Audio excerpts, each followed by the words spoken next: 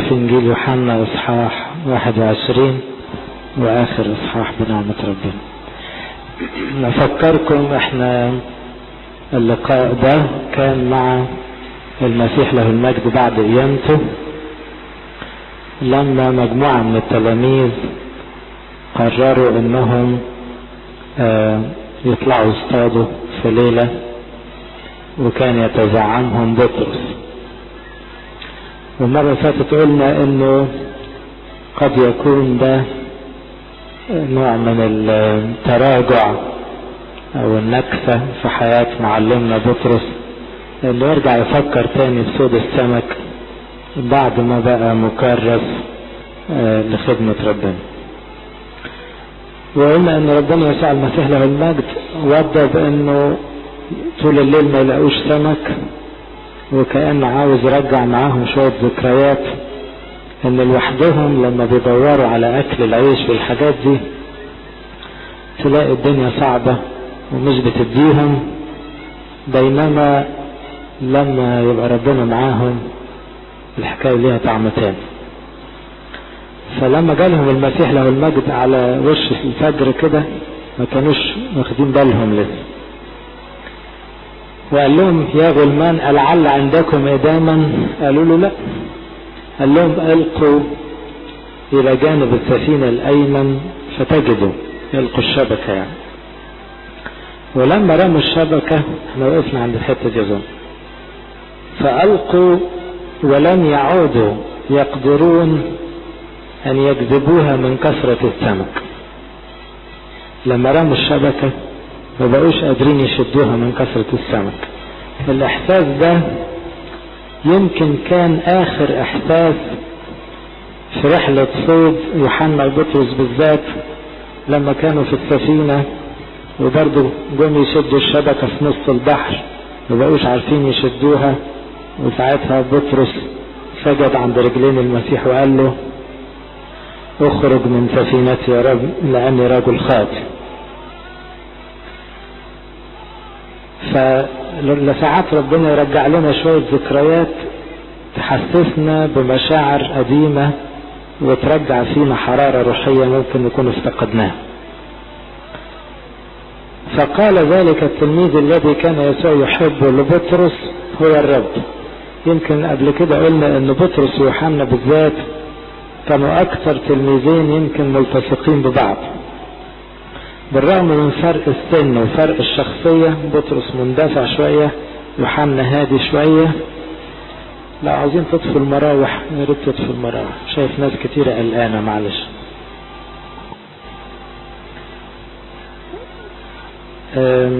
بطرس ويوحنا كانوا إلى حد كبير مرتبطين ببعض فيوحنا ميل على بطرس وقال له هو الرب.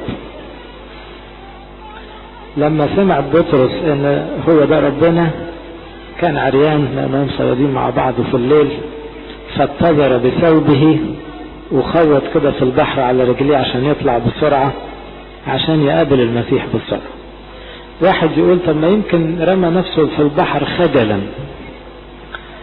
الكلام ده يمكن كان يبقى خجلا لو ده أول لقاء للمسيح وبطرس بعد القيامة. كنا نقول مكسوف يقابله لأنه عمل عملة وانكره لكن ما تنسوش إنه في أكتر من لقاء قبل كده. اولا في يوم القيامة الصبح بطرس قابل المسيح. وما نعرفش عنها أكتر من ظهر أيضا لسمعان. ما تكتبش عنها أكتر من كده. يعني كان في لقاء شخصي خاص جدا بين المسيح وبطرس يوم القيامة الصبح. زي زي المجدلية كده. كنا عرفنا تفاصيل لقاء المجدلية لكن الإنجيل ما سجل لناش لقاء بطرس والمسيح كان شكله إيه. طبيعي هيكون في توبة من بطرس وترحيب من المسيح له المجد وتشجيع. آه بعد كده في نفس اليوم بعد الظهر بطرس كان واحد من التلاميذ اللي دخل عليهم المسيح في العلية وقعد معاهم. فيبقى مش ممكن يكون ده أول لقاء بين المسيح وبطرس. فكون بطرس لمح المسيح الشاطئ ونزل على المية ما كانش خجل من بطرس قد ما كان يعني اندفاع منه عاوز يطلع يقابله بسرعة أول ما اكتشف حضور المسيح له المجد. وألقى نفسه في البحر. وأما التلاميذ الآخرون فجاءوا بالسفينة لأنهم لم يكونوا بعيدين عن الأرض إلا نحو 200 ذراع. إحنا قلنا دايما السفينة لما تيجي تقرب من الشاطئ تتحرك ببطء ويمكن ده سبب إن بطرس سبق وطلع على رجليه. وابتدى يشد السفينة من بره وهم يعني يحركوها لغاية ما تركن خالص. لأن معاهم كوم سمك كبير قوي دلوقتي. ما هم لقوا الشبكة مسكت. خلي بالكم في الغالب ما رفعوهاش فوق السفينة. جروها جر لغاية ما توصل على بره لأنها مش قادرين يشيلوها من كتر السمك. فهم كده كده قريبين من الشاطئ فابتدوا يقربوا بالسفينة ببطء ويجروا الشبكة في ظهرهم عشان تدخل على الشاطئ. وهم يجرون شبكة السمك أدي تعبير يجرون شبكة السمك بينما لو تذكروا المرة الأولى المسجلة في لقا خمسة اضطروا يحملوا السمك على السفينة لأن هم كانوا في نص البحر لما قال لهم ادخلوا إلى العمق. فلما حملوا السمك على السفينة كادت السفينتان تغرقان من كتر السمك. إحنا عاوزين نعمل مقارنة بين الحادثتين لأن فيهم حاجات لطيفة يعني. يعني أول مرة كانوا سفينتين والاثنين اتملوا سمك وابتدوا يغرقوا والمرة الأولانية كمان اتقال إن الشبكة اتقطعت. يعني ما بقتش بقت بتفتق كده منهم لأنه مش من كتر السمك. المرة دي يقولوا إيه؟ هيذكروا بيان السمك. فلما خرجوا إلى الأرض نظروا جمرا موضوعا وسمكا موضوعا عليه وخبزا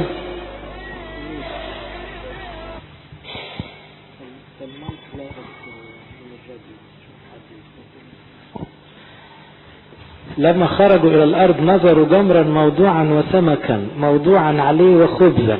حاجة عجيبة قوي إن المسيح له المجد. إداهم سمك برقم كبير قوي هنشوفه دلوقتي. لكن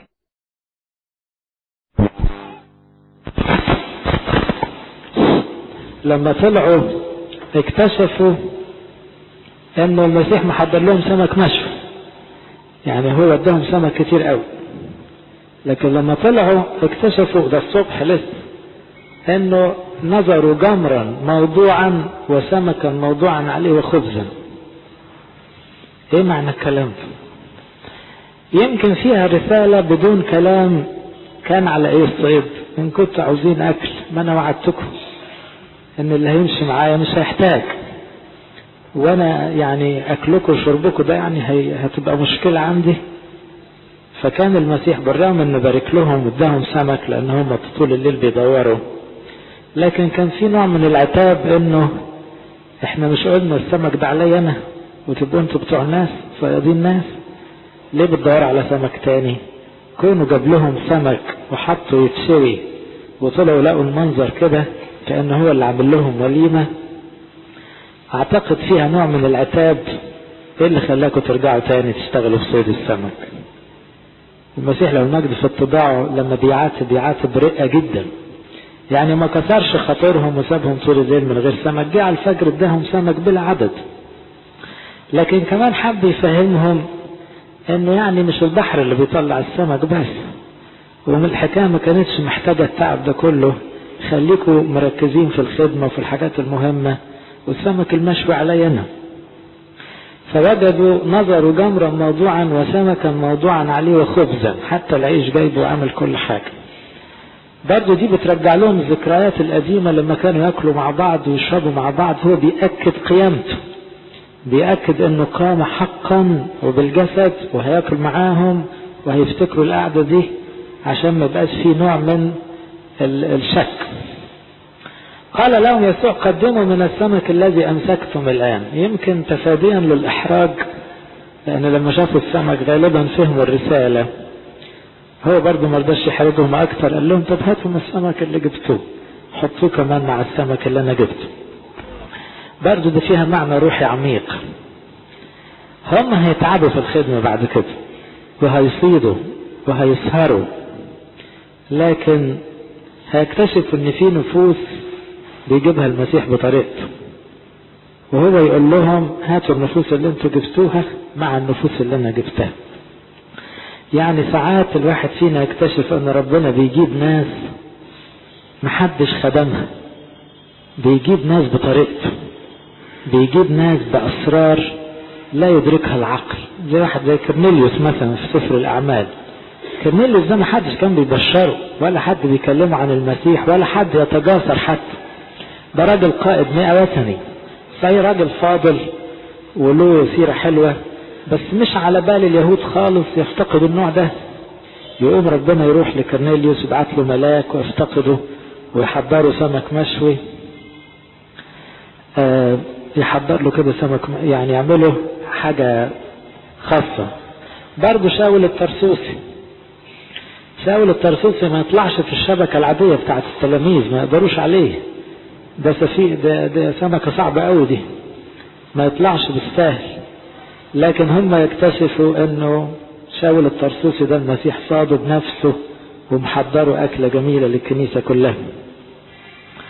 معنى كده إنه لما قال لهم هاتوا من السمك اللي, اللي أمسكتم حب يقول لهم أنا جايب سمك وأنتوا جيبوا سمك وتبقى أكلة مع بعض.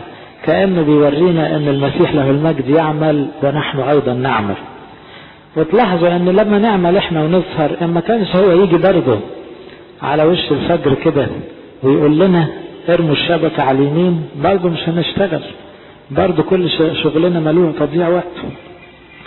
يعني تعبنا مفيد في الخدمة بس بنعمة ربنا وأيضا الله يعمل ويخلص ناس من غيرنا. من غير نقصد بدون توقعاتنا وبدون تدبير بشر. زي ما قال مثلا في مثل الراعي الصالح قال لي خراف أخر ليست من هذه الحظيرة. ينبغي أن آتي بتلك أيضا. ربنا له ناسه فتكون رعية واحدة لراع واحد. هي نفس الفكرة. أنتوا هاتوا السمك اللي أنتوا جبتوه وأنا جايب لكم سمك من عندي وتبقى وليمة جميلة.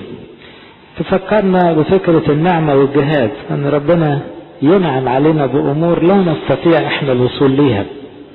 ونحن نجاهد للوصول إلى ما نقدر أن نصل إليه لكن لازم نعمة ربنا. فصعد سمعان بطرس صعد سمعان بطرس معنى كده إنه طلع قبل المسيح ونزل تاني يشد السفينة ويشد الشبكة. فابتدوا بقى يجروا الشبكة عشان يطلعوا من البحر بيها خالص على الرملة بر وجذب الشبكة إلى الأرض. ممتلئة سمكا كبيرا. مئة وثلاثة وخمسين ومع هذه الكسرة لم تتخرق الشبكة أقارن لكم بين الحادثتين بتاعت لقا خمسة في بداية معرفة التلاميذ بالمسيح وهنا يوحنا 21 في نهاية رحلة المسيح له المجد على الأرض قبل صعوده بأيام. المرة الأولانية كان لازم يدخلوا للعمق فاكرين؟ والشبكة تخرقت وما عرفوش يعدوا السمك والسفينتين كانوا هيغرق المرات يا دوب رموا على اليمين الشبكة مع الكسرة لم تتخرق. كانت سفينة واحدة وقلنا إيه تاني؟ ولم تغرق. السفينة ما كانتش بتغرق. الشبكة دايما في فكر الآباء رمز للإنجيل شبكة الصياد. الصياد هو الخادم. طب إيه شبكة الخادم فينا؟ هيجيب الناس لربنا بإيه؟ بالكتاب المقدس بالشبكة بالإنجيل بكلام ربنا. كلام ربنا أو رسالة الإنجيل لم تكن قد اكتملت في لوقا خمسة. ليه؟ المسيح ما كانش اتصلب ولا مات ولا قام ما كانش عمل الفداء. لكن بعد ما المسيح تمم الفداء على الصليب وقام من الموت. اكتملت البشارة يعني الخبر المفرح بتاع المسيحية بقى كامل.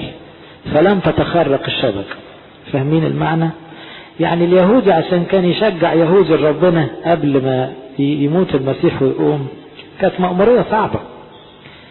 كان يشجعوا بعض عشان الناس ترجع لربنا وتعرف ربنا. بس لم تكن الشبكة قوية لأنه كان لسه في ثغرة. لم يحق... الخلاص ما كانش اكتمل. لسه المسيح ما أتمش الفداء. فعشان كده كادت السفينتان تغرقان. يعني إيه؟ يعني بالرغم إن هم صادوا سمك كتير في المرة الأولانية لكن كانوا هيغرقوا هم والسمك. ليه؟ لأن الخلاص لم يكن قد أكمل بعد. لأن المسيح له المجد ما كانش صلب ومات وقام المرة دي الشبكة اكتملت كإشارة إنه المسيح أكمل عمله. مات وقام وقدم الخلاص ده بالروح القدس لكل البشر تلاحظوا المرة الأولانية كانت سفينتين ليه؟ كان العالم قبل المسيح أو في بداية خدمة المسيح منظور له دايما على إنه فرقتين. إيه؟ أنتوا بقيتوا بتوع رموز دلوقتي الأمم واليهود. كان دايما كده العالم في ذهن الدين القديم أو اليهودية منظور له إنه سفينتين. سفينة يهود وسفينة أمم. لكن بعد إتمام الفداء لم تعد إلا سفينة واحدة هي كنيسة واحدة تجمع اليهود والامم وما عادش في فضل اليهود على اممه كله داخل على المسيح له المجد بالنعمه ربنا المرة الأولانية ما كانش في عدد عارفين ليه؟ لأنه بصراحة حتى اللي مسكوا في ربنا ما كانتش أسمائهم مسجلة في سفر الحياة بالمعنى بتاع العهد الجديد. النهاردة ليه عدوا السمك وبتطلعوا العدد؟ لأن كل واحد داخل في شبكة العهد الجديد بيتسجل اسمه في سفر الحياة وبياخد رقم يعني أقصد محسوب في سفر الحياة معدود خلاص المرة الأولانية ما كانوش بيتعدوا لأن هم يهود في بعض على أمم كلهم في الآخر ما لهمش خلاص لكن بعد إتمام الفداء أصبح في خلاص وأصبح العدد مهم. عشان كده تسمعوا سفر الرؤيا أعداد المخلصين اللي في السماء. كإشارة طبعا رمزية إن كل واحد له اسم في السماء ومعروف باسمه ومكتوب باسمه لأنه الخلاص أصبح لمن يؤمن ويعتمد ويدخل طريق الخلاص. فدي توضح لنا يمكن بعض الفروق بين القصة الأولى والقصة الثانية. الأولانية كان مشوار طويل عشان يصيدوا الناس لازم يدخلوا للعمق. المرة دي يا دوب يرموا على اليمين. زي ما الكتاب يقول الكلمة قريبة منك في فمك وفي قلبك.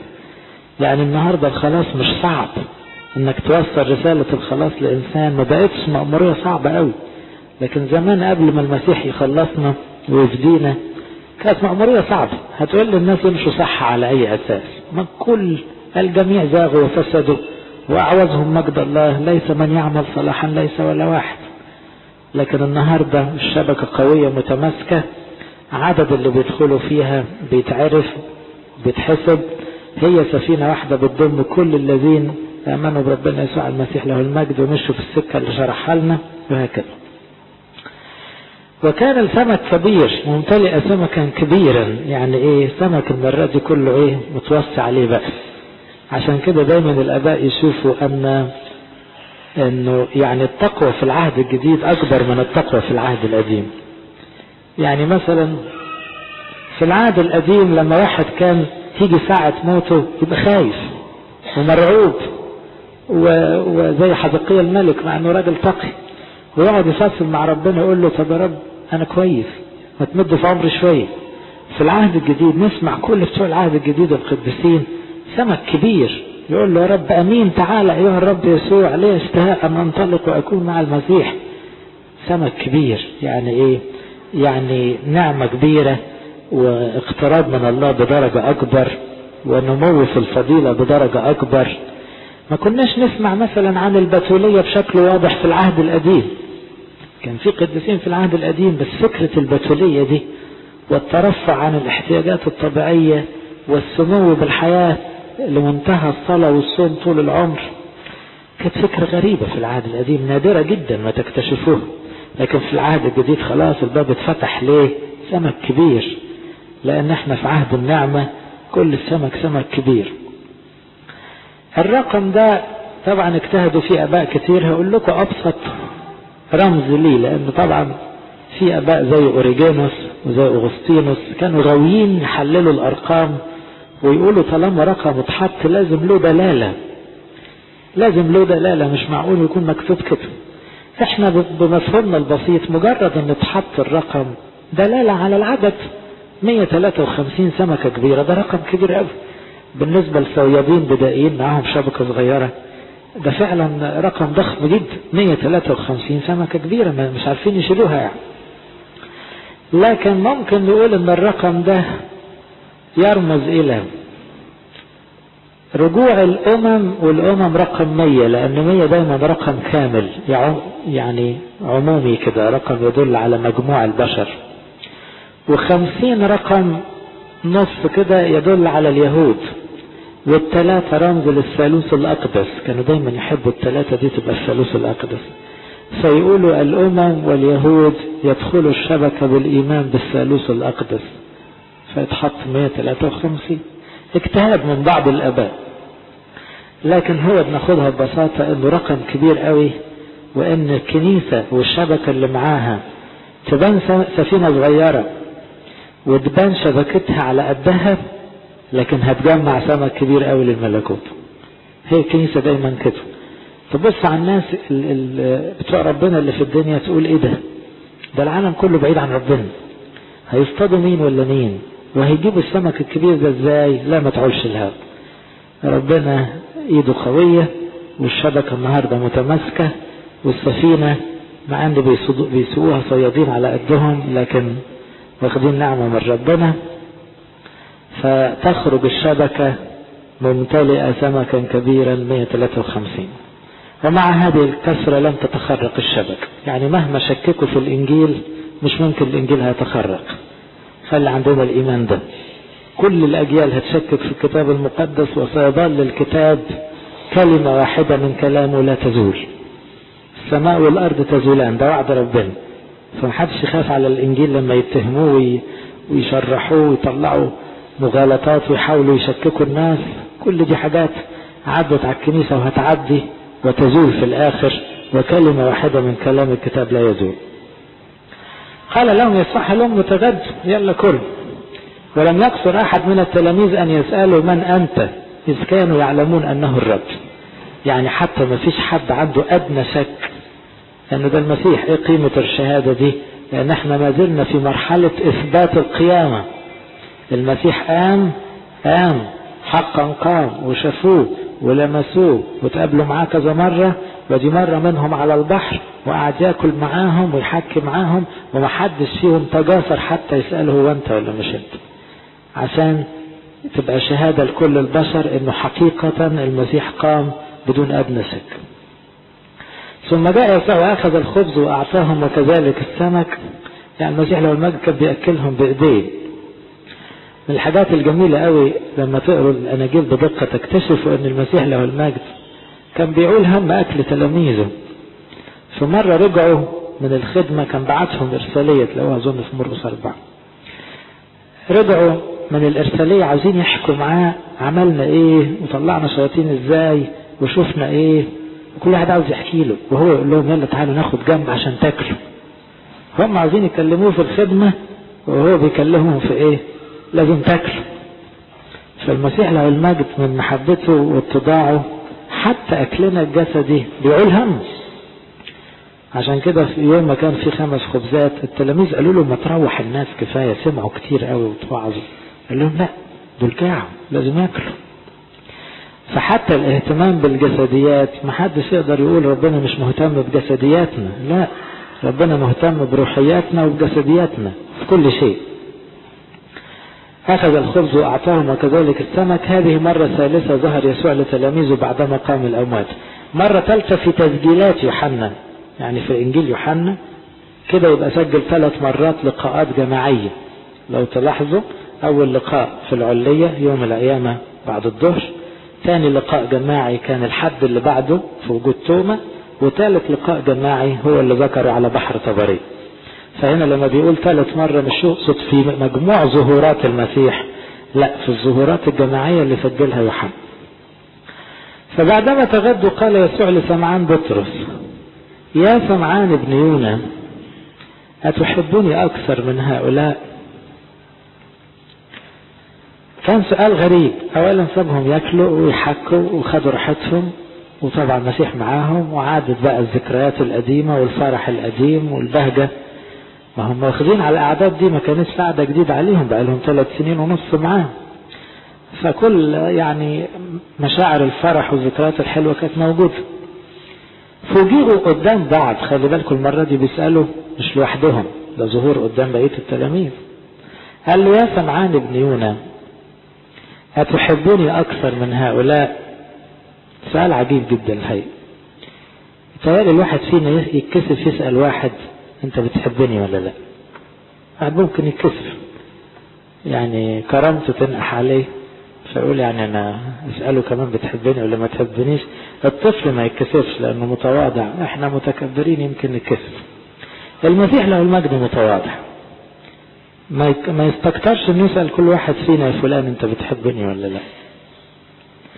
طبعا ده يعني سؤال مخجل جدا. و ويعني المسيح عارف كل حاجة. طب بيسأل ليه؟ وبعدين يحط فيها كلمة جميلة يقول له أكثر من هؤلاء. أكثر من هؤلاء ساعات بنفهمها بطريقتين. ممكن نفهمها أنت بتحبني يا سمعان أكثر من كل الناس أكثر من زمايلك دول أكثر من كل الناس اللي أنت بتحبهم. أنا أهم واحد عندك؟ ولا في ناس بتحبهم أكثر مني؟ ممكن تتفهم كده. ان المسيح له المجد لما يسألك عن سؤال بتحبني ولا لأ؟ كلنا هنقول له أيوه بنحبك يا رب. يقول لك طب بتحبني أكتر ولا أولادك؟ تحبني أكتر ولا مراتك؟ تحبني أكتر ولا شغلك؟ تحبني أكتر ولا صحتك؟ هنا السؤال يبقى صعب فعلا. لكن أقول لك بتحبني؟ آه سهلة. آه بنحبك. مش هنحبك ليه؟ لكن أتحبني أكثر من هؤلاء؟ يبان إن السؤال ما يحتاجش الإجابة سريعة. يحتاج إلى مراجعة.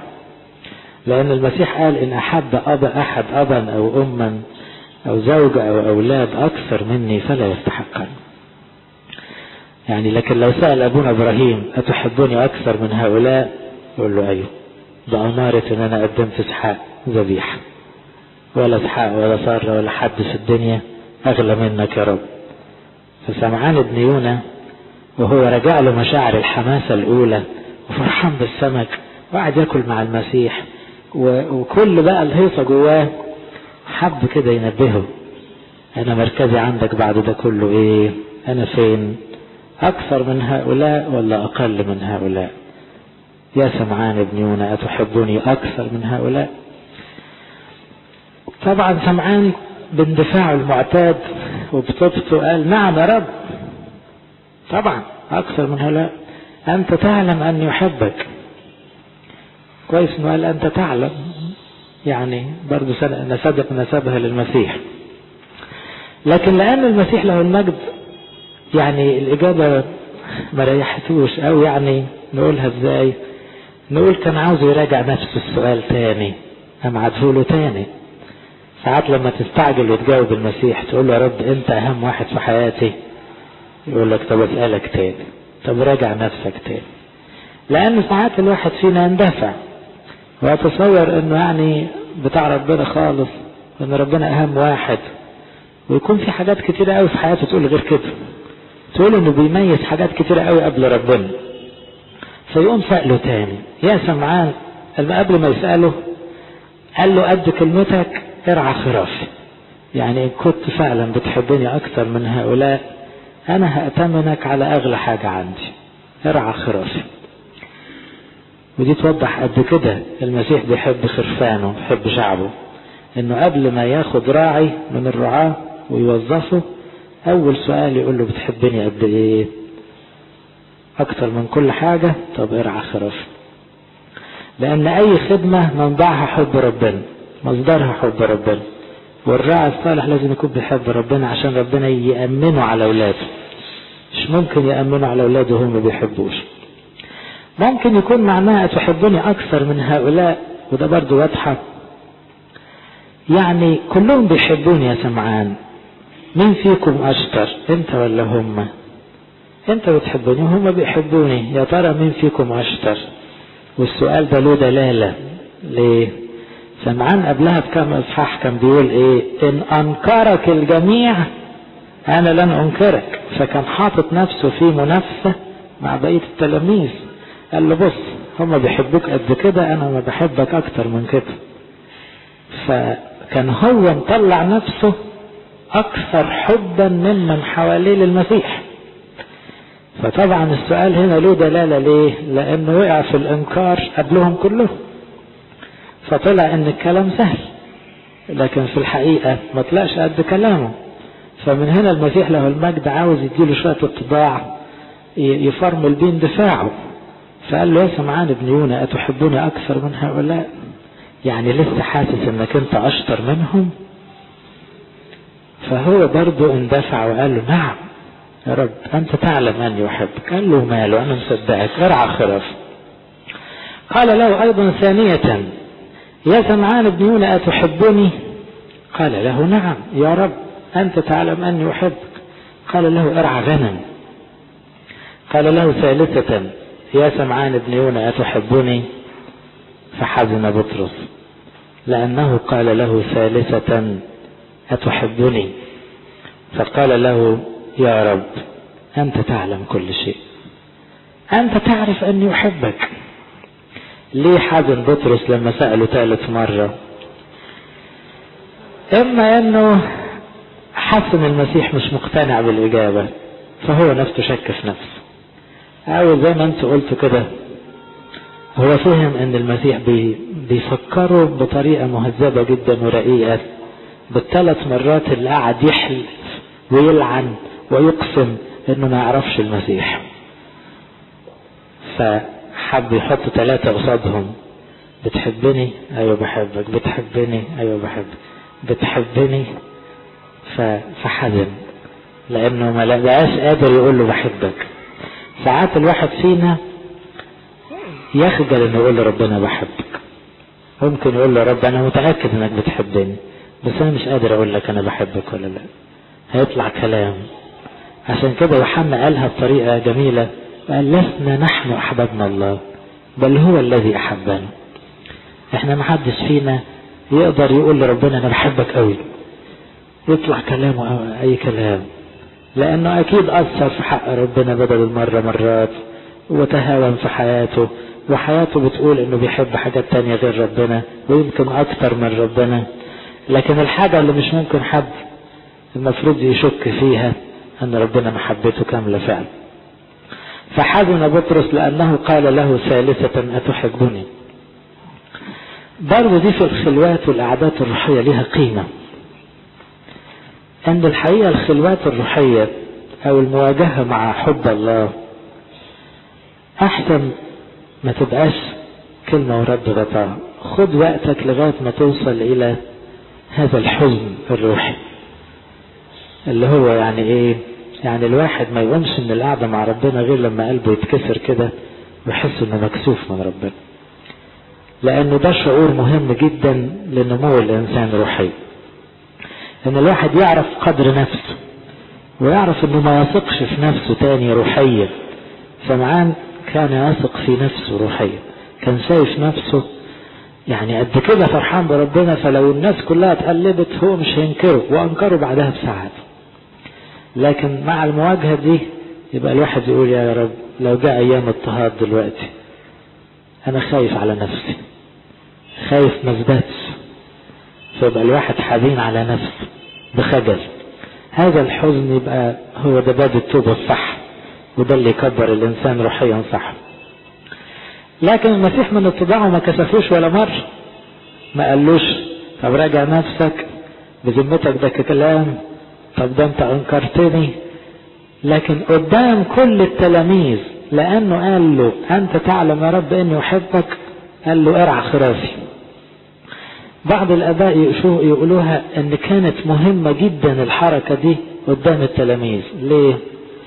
بطرس من ساعة ما أنكر مكسوف يبص في عينين إخواته. كان عامل وسطيهم ريس. وهو الوحيد اللي أنكر. وما بقاش عارف حتى لو المسيح سامحه من حقه يرجع يبقى رسول ولا لأ؟ ما هو واحد عامل عملة كبيرة زي كده. يهوذا التاني شنق نفسه وفقد ابديته وسمعان أنكر. صحيح إحنا عارفين المسيح قابله أول واحد عشان يطيب خاطره. وقابله في العلية ليلة القيامة وبعدها بأسبوع وهو بحر طبرية. لكن كان لازم الكل يسمعوا من فم المسيح توكيل الرعاية مرة أخرى لبطرس ارعى خرافي عشان يرجع لكرامته الأولى. عشان يعرف إن المسيح قابله كراعي حتى بعد وعيته. وتعرف يعرف كل إخواته التلاميذ إن المسيح ما لغاش بطرس لأنه ضعف قبله تاني كرسول واداله مركز الرعاية القديم. فهنا كانت التكريم ده قدام التلاميذ كمان.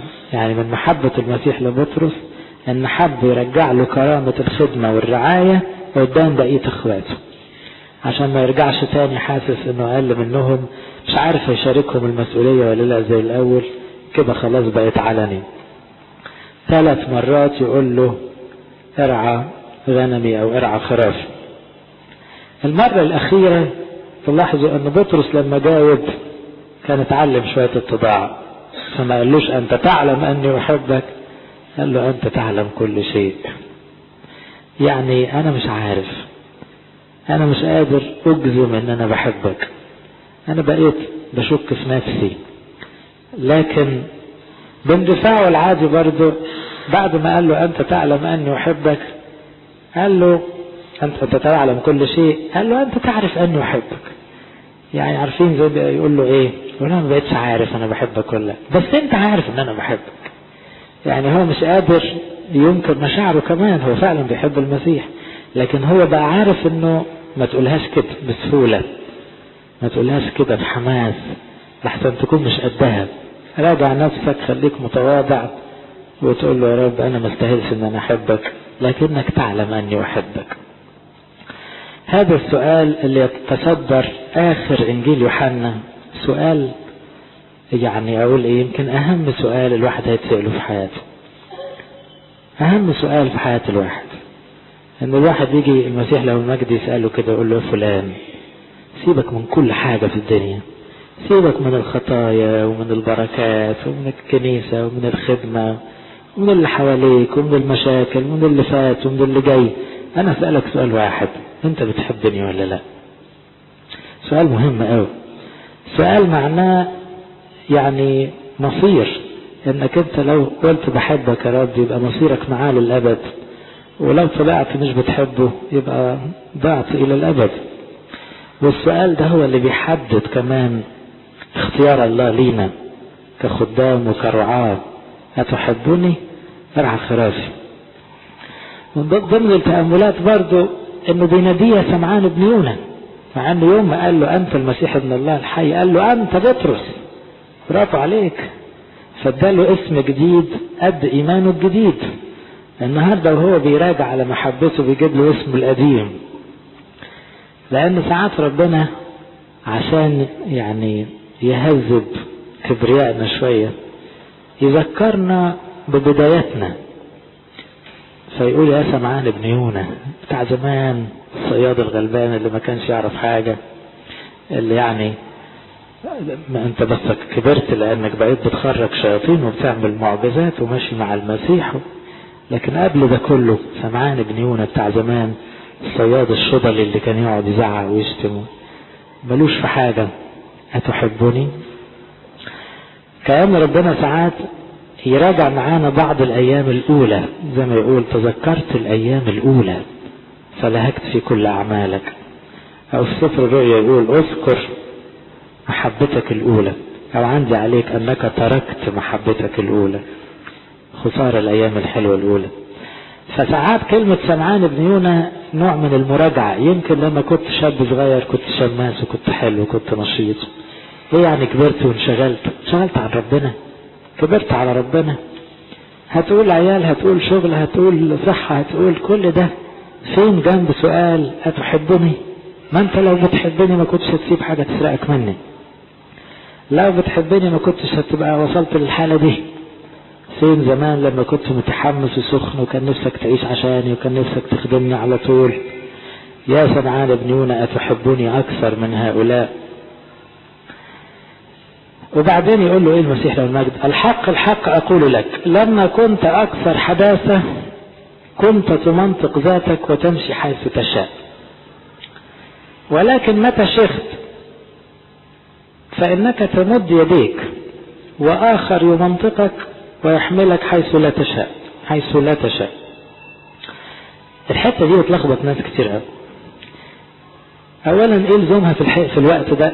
ويعني إيه معناها؟ بيقول له بص بص لما كنت صغير أكثر حداثة حداثة يعني حدث يعني شاب صغير. يعني لما كنت صغير صحتك كده بطرس كنت تمنطق ذاتك وتمشي حيث تشاء. هي معناها ببساطة كنت واخد في دماغك كده وتعمل اللي انت عاوزه. كانش حد يقدر يخليك تعمل حاجة على غير مزاجك. كنت تربط نفسك تمنطق ذاتك دي علامة الاستعداد عندهم دايما. وتمشي حيث تشاء. طبيعي الشباب النهاردة. تلاحظ إن الشاب من دول بيمشي على مزاجه. يعني يمكن الكبير يفكر ويشوف الدنيا تمشي إزاي ويجاري الجو لكن الشاب بياخد كده بمزاجه يمشي قال له لكن متى شخت انك تمد يديك؟ يعني بتدور على حد يشدك وآخر يمنطقك لما بتعجز قوي بتمد إيدك تقول سقوني. وواحد تاني بيربطك يعني يحزمك كده عشان تبقى تعرف تاخد تمشي خطوتين.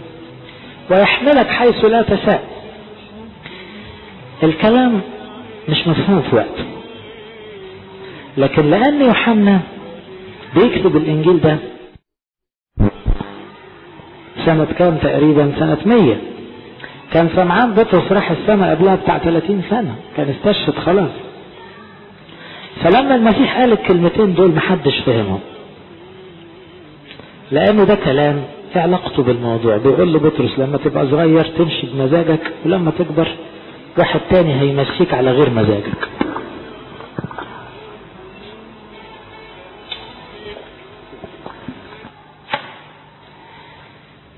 آه واخدين بالكم المعنى؟ طب إيه علاقته بالموضوع؟ فيقول إيه بقى هنا معلمنا يوحنا؟ قال هذا. مشيرا إلى اية ميتة كان مزمعا أن يمجد الله بها. أتاري المسيح وهو بيقول له ارعى خرافي بيقول له على فكرة يا بطرس أنت عارف هتجيلي السما إزاي؟ اجيلك السما؟ هو بيكلمه كبداية خدمة وفي نفس الوقت بيقول له آخر حياته هتمشي إزاي؟ آخر سكته هتمشي إزاي؟ في حياة سمعان بطرس في قصة جميلة يمكن الناس ما بتعرفهاش. لما شاخ بطرس كان بي كان راح روما يبشر. وعشان كده الفاتيكان بيحبوا بطرس أكتر لكن إحنا في إيماننا الأرثوذكسي نعتقد إن بولس وبطرس يمكن بولس شارك في الخدمة في روما أكتر. إلا إن بطرس يعني استشهد في روما. فقامت زوبعة اضطهاد شديد قوي وبطرس كان مطلوب القبض عليه وإعدامه لأنه شيخ المسيحيين. فبطرس وهو عجوز قرر يهرب من روما. وهو خارج من روما شاف رؤية شاف المسيح له المجد شايل صليبه وداخل روما. فقال له على فين يا رب؟ قال له داخل أموت مكانك مش أنت مش عاوز تموت. فاتكسف ورجع. آخر يمنطقك ها ويرسلك حيث لا تشاء. ما فهمهاش غير في الوقت ده. فلما جم يطلبوه قال لهم بصراحة أنا مكسوف ده هو قايلها لي بقاله 30 سنة. إن أنا وأنا صغير همشي بدماغي ولما أكبر حد تاني اللي هيمشيني على مزاجه. وأنا ما كنتش ما كنتش فاهمها. فأنا ما استاهلش حتى أتصلب زيه. صلبوني راسي تحت. فصلبوه منكس الرأس بناء على طلبه وكان فرحان إنه فهم القصد اللي قاله المسيح وهو بيودعه بكلمة ارعى خرافي قالوا لما كنت صغير بطرس كنت بتمشي كده براحتك. ولما هتكبر واحد هيمشيك على غير مزاجك. يوحنا بقى لأنه حضر الأحداث دي يقول قال هذا مشيرا إلى اية ميتة أي طريقة موت كان مزمعا أن يمجد الله به. يعني أتاري يوحنا بقى عشان حضر ده كله بيقول المسيح كان بيتكلم عن الطريقة اللي هيموت بيها بطرس بعد سنين طويلة من الخدمة لأنه كان مش هيبقى عاوز يموت والمسيح هيقول له لا لازم ده وقتك بقى. يلا تعالى كفاية. ولما قال هذا قال له اتبعني. بعد ما المسيح قال له ارعى خرافي. وبعدين قال له طول عمرك ماشي بدماغك هيجي لك وقت همشيك على مزاجي. قال له يلا خليك ورايا بقى. اتبعني تاني. فالتفت بطرس ونظر التلميذ الذي كان يسوع يحب يتبعه وهو أيضا الذي اتكى على صدره وقت العشاء. وقال يا سيد من هو الذي يسلمك؟ كلام هنا على يوحنا الحبيب. يعني المسيح له المجد قال لبطرس اتبعني. فبطرس بس كده لقى مين واقف جنبهم. يوحنا ما كانش بيفارق المسيح. فيوحنا بيفكرنا بنفسه فبيقول الذي كان يسوع يحبه والذي اتكى على صدر وقت العشاء وقال يا سيد من هو الذي يسلمك؟ فيبدو لأن يوحنا كان بيلزق للمسيح المسيح بيتحرك وبيقول لبطرس يلا تعالى ورايا. يوحنا لقى أول واحد بيزرع وراه بيمشي ورا المسيح. فلما رأى بطرس هذا قال ليسوع يا رب وهذا ما له.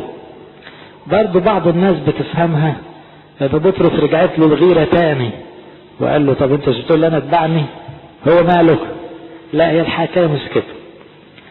هو بدل قال اتبعني يبقى اتبعني في الخدمة. وبدل هينزل له خدمة معروف المسيح كان بينزلهم اتنينات. فكان بطرس لتعلقه بيوحنا عاوز بدل المسيح قال له اتبعني يقول وراها إيه؟ وخد يوحنا معك زميلك. عشان ده إيه بقى؟ هتبقى خدمة العمر خلاص. هتبقى إرسالية بلا نهاية. فعاوز يطمن مين زميله؟ برضه بطرس لسه في الطبع ده. مندفع شويتين بالرغم من كل الكلام ده. فلما لقى يوحنا لازق للمسيح وأول ما سمع كلمة اتبعني جري ورا المسيح لأن قلبه دايما سخن. قال له طب إيه رأيك فيه؟ هذا ما له دي معناها. طب يوحنا يعني هيروح فين؟ طب أنا همشي وراك. طب يوحنا فالمسيح رد وقال له الآتي. قال له يسوع إن كنت أشاء أنه يبقى حتى أجيء فماذا لك؟ اتبعني أنت. يعني إيه؟ يعني لو كنت أنا عاوز يستناني لغاية ما أجي من السماء. أنت لمالك أنا بقول لك اتبعني. برضو المسيح له المجد لسه بيهذب صفاته المندفعة شوية قال له يعني أنا كل واحد منكم له عندي رسالة له عندي قصة هيعيشها اتبعني أنت. يعني مالكش دعوة بيوحنا. الحقيقة فعلا يثبت التاريخ إن بطرس ويوحنا فضلوا ملتصقين ببعض سنوات طويلة جدا في الخدمة. اللي يقرأ سفر الأعمال أول عشر إصحاحات يلاقي بطرس ويوحنا ما بيسيبوش بعض. بيتضربوا مع بعض وبيتسجنوا مع بعض وبيوعظوا مع بعض وبيصلوا مع بعض. ففعلا يبان الصداقة اللصيقة بين القديس بطرس الرسول والقديس يوحنا الحبيب. وفي رسالة غلاطيا اللي هندرسها بنعمة ربنا الفترة الجاية برضه يبان إنه كانوا ثلاثة أعمدة بطرس ويعقوب ويوحنا اتحركوا مع بعض دايما. فهنا يبان ان بطرس من محبته كمان ليوحنا كان نفسه يزامله فالمسيح قال له بص خليك في نفسك يعني. توزيع الخدمة سيبهولي أنا بلاش تختار. عاوزه برضه يبطل الحتة بتاعة الكبرياء والتدخل يقول حاضر وخلاص فقال له يسوع إن كنت أشاء أنه يبقى حتى يجيء فماذا لك اتبعني أنت. فذاع هذا القول بين الإخوة أن ذلك التلميذ لا يموت. هم خدوا التعبير اللي قاله يسوع ده بالحرف. يعني بيقول له إن كنت أنا عاوز إن يوحنا ده يستناني لغاية ما أجي. أنت مالك؟ فهم خدوها على إن يوحنا فعلا مش هيموت وهيستنى المسيح في مجيئه التاني. فيوحنا لأن كلهم راحوا السماء وفضل لسه قاعد وعجوز قوي. الإشاعة دي عمالة تزيد. إن يوحنا مش من النوع اللي بيموت. هيستنى المسيح لغاية ما يجي. لكن يوحنا لأنه فاهم المسيح صح. فهو يصلح هنا ويقول إيه؟ فزع هذا القول بين الإخوة أن ذلك التلميذ لا يموت ولكن لم يقل له يسوع أنه لا يموت بل إن كنت أشاء أنه يبقى حتى أجيء. فماذا لك يعني المسيح ما قالش إنه مش هيموت. بس كان بيقول له بطرس لو أنا عاوزه يستناني لغاية ما أجي. أنت مالك؟ فيوحنا بيأكد إنه هو هيموت وبيأكد إنه هي... هيروح السماء زي زي بقية الرسل وإن المسيح ما كانش يقصد حرف المعنى إنه هيستناه لغاية ما يجي لكن كان يقصد إنه ترتيب ربنا في حياة كل واحد مختلف عن التاني مفيش داعي نفرض على ربنا صورة معينة إحنا عاوزينها. نهاية الإنجيل كله هذا هو التلميذ الذي يشهد بهذا وكتب هذا. فين في الرسائل الضخمة؟ في الآخر لازم الشخص يوقع ويسجل اسمه وبياناته. مين اللي كتب ده كله؟ فهنا يوحنا لأنه لما بدأ إنجيله بدأ بالكلام على ربنا على طول. في البدء كان كلمة ما ذكرش نفسه أبدا. في آخر الإنجيل يقول أنا بقى الشاهد هذا هو التلميذ الذي يشهد بهذا وكتب هذا. ونعلم أن شهادته حق وأشياء أخر كثيرة. صنعها يسوع. إن كتبت واحدة واحدة فلست أظن أن العالم نفسه يسع الكتب المكتوبة.